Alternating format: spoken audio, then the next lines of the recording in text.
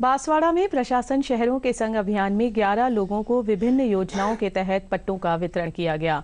बांसवाड़ा ज़िले के प्रभारी सचिव नारायण लाल मीना जिला कलेक्टर अंकित कुमार, नगर परिषद के सभापति जैनेन्द्र त्रिवेदी, उप जिला प्रमुख डॉक्टर विकास बामनिया आदि की मौजूदगी में बांसवाड़ा शहर के 11 लोगों को विभिन्न योजनाओं के तहत पट्टों का वितरण किया गया।